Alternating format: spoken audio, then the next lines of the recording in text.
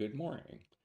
Previously, we've talked about how to get the differential equations that a test particle, either massive or massless, has to follow in the Schwarzschild geometry.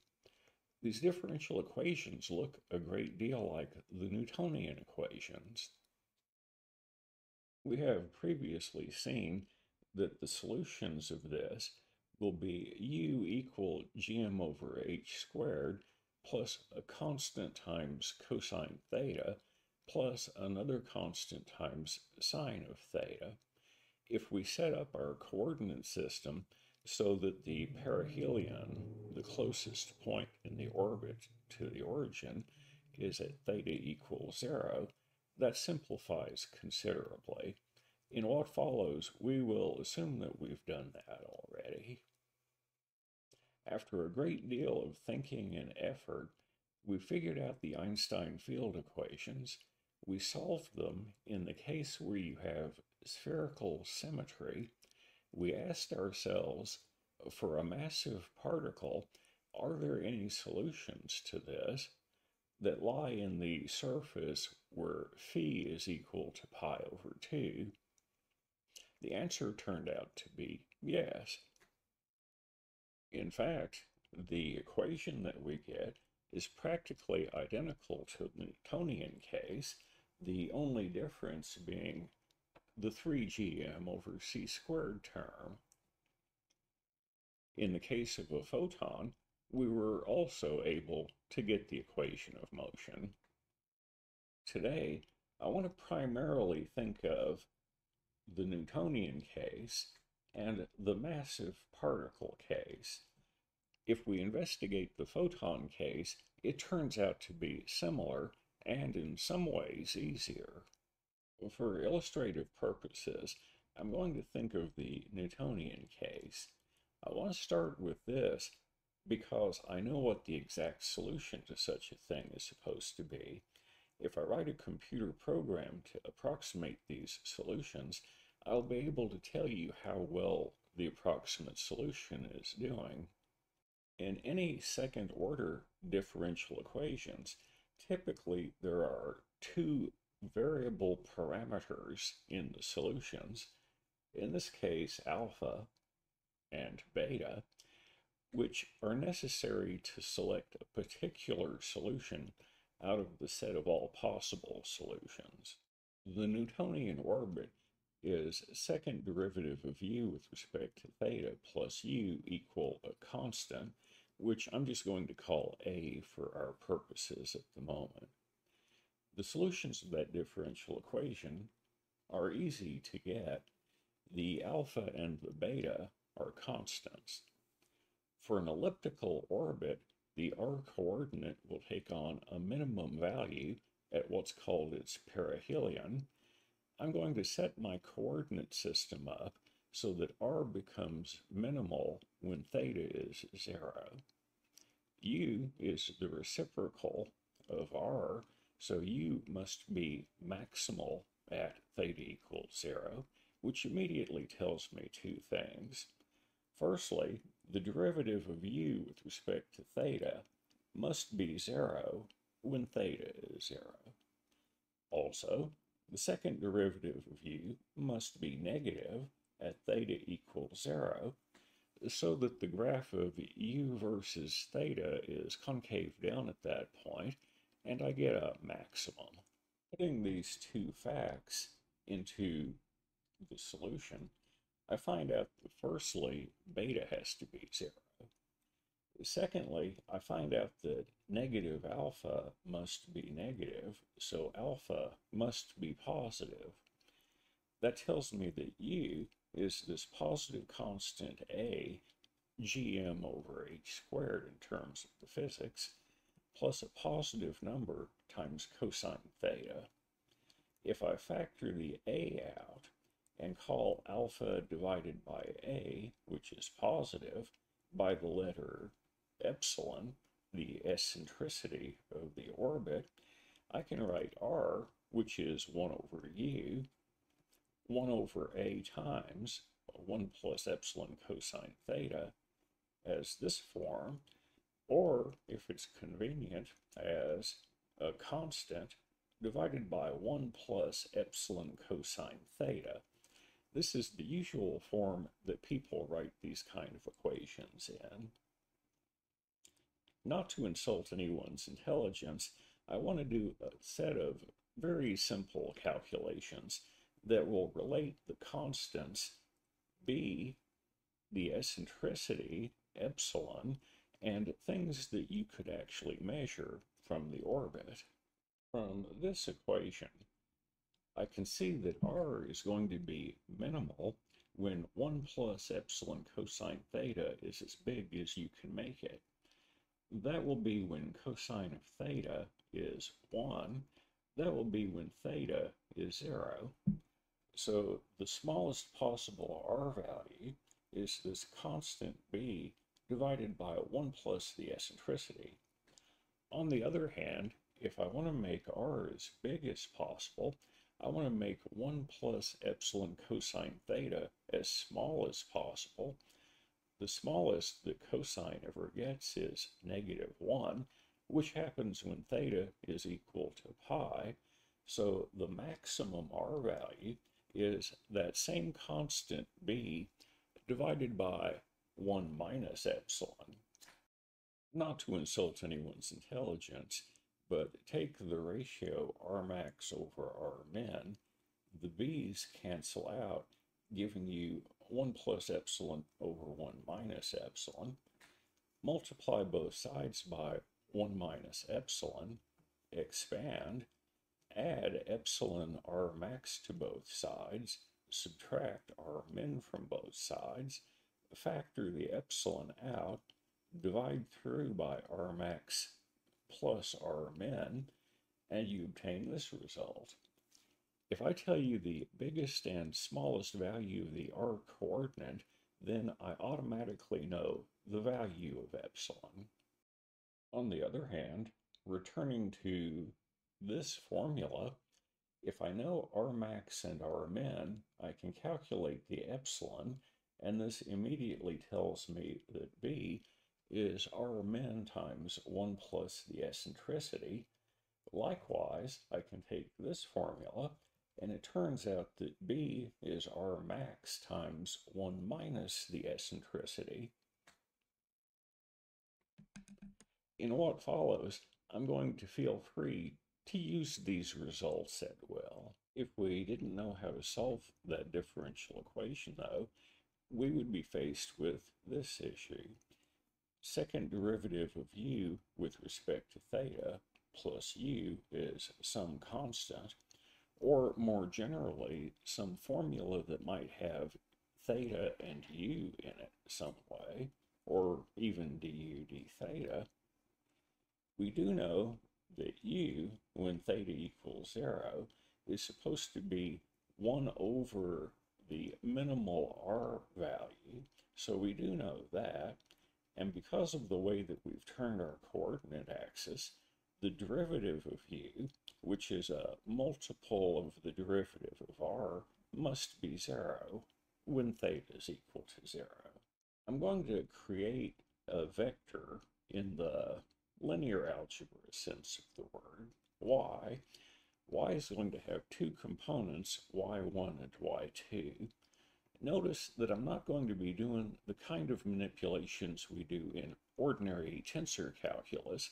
So y1 and y2 are just number functions.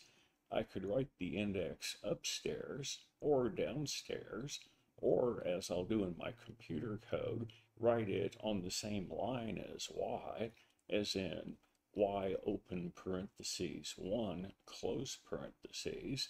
So let's not get hung up on the indexing. Y number one is secretly just an alias for the u function, and y number two is the derivative of u with respect to theta. Just as in ordinary third semester calculus, we differentiate such a thing one component at a time.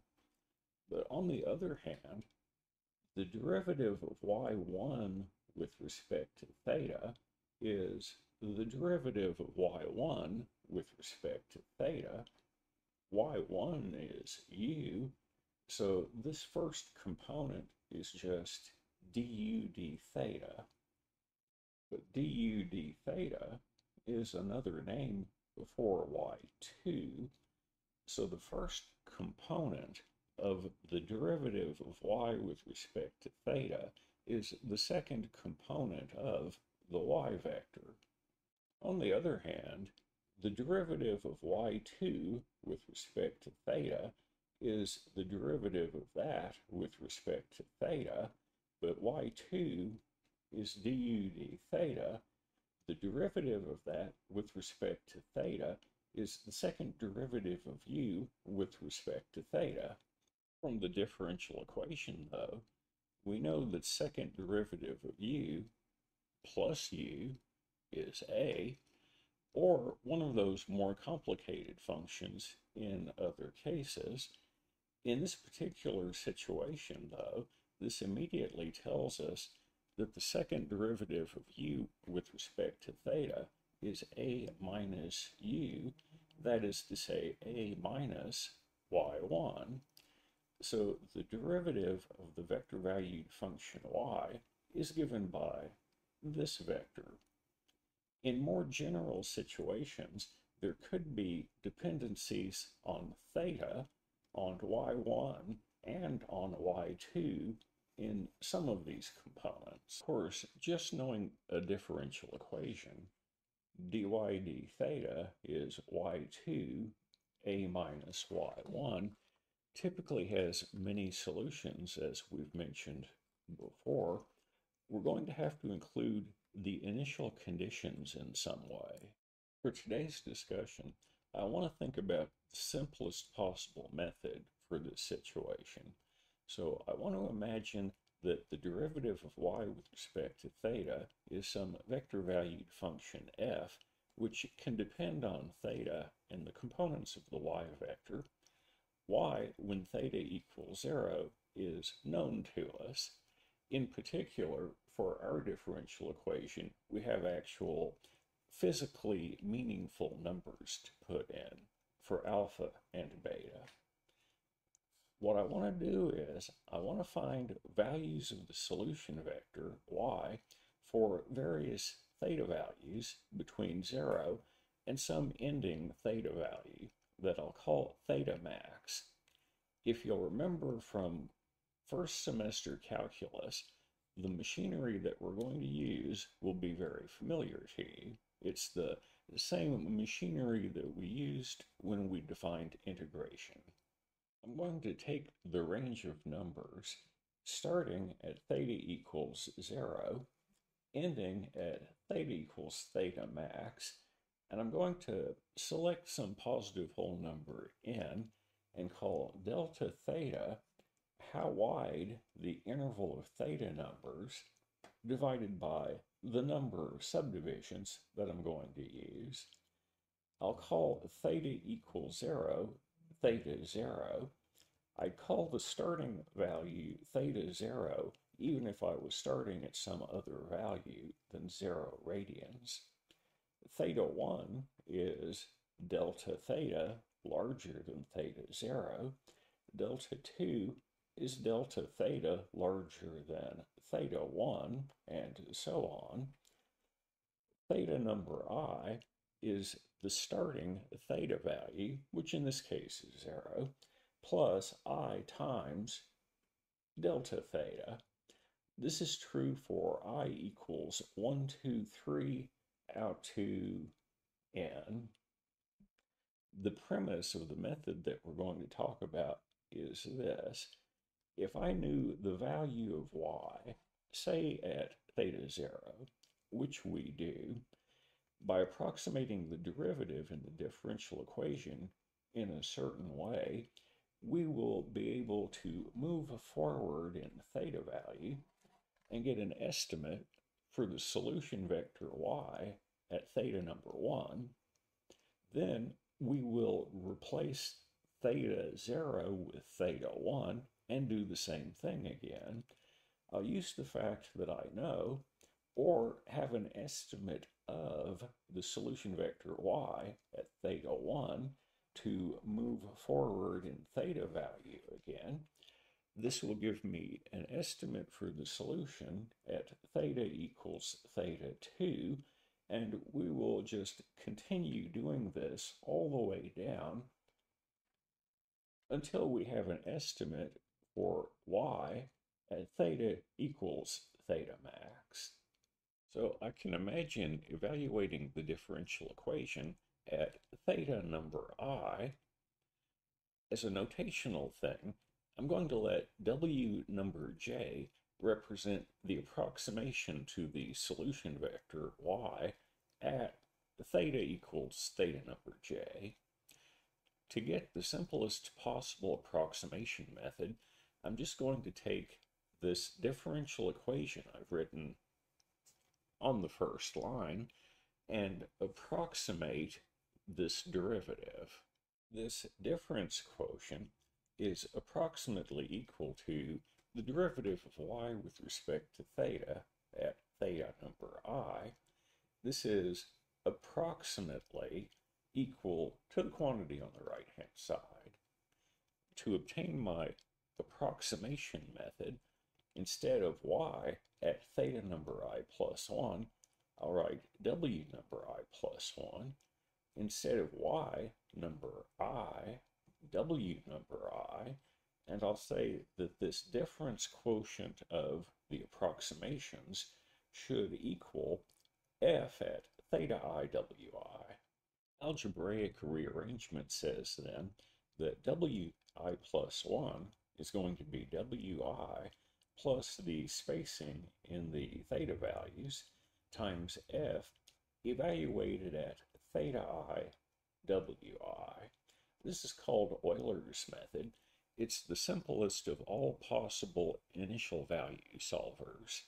What I need to know to make this work is the value of theta at a given point and at least an estimate for the solution of the differential equation at that point. If I know, for instance, theta 0 and w 0, then I'll know that this comes from the setup of the approximation method. We know that, and we know that. By calculating this, this will give me an estimate starting at theta 0 of the solution at theta equals theta 1 instead. And then I can go around in a loop doing this for as long as I care to.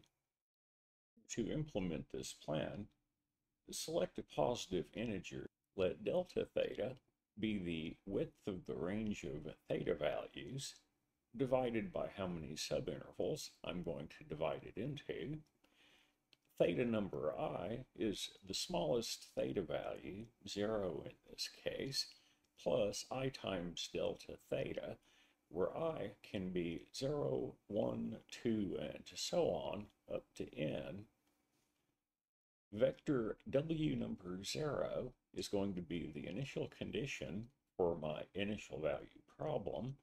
And then for i equals 0, 1, 2, 3 to n minus 1, estimate wi plus 1, the estimate of the solution vector at theta number i plus 1 will be the estimate of the solution at theta i plus delta theta times the f vector evaluated at theta i wi.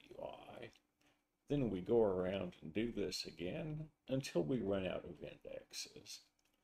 Speaking of the indexes, we start with i equal 0.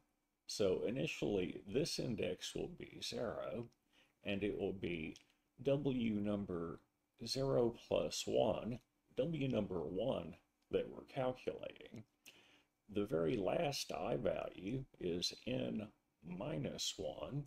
The very last W that we calculate will be W number n minus 1 plus 1. That is to say, W number n. This will be the approximation to the solution at theta n which is equal to theta max. In the next video, continuing to be slightly off topic, we'll implement this Euler method and see how well it does. The answer is going to be not very well at all, but we will investigate that when we get there. In the meantime, I hope everybody has a good day, and I'll talk to you again soon.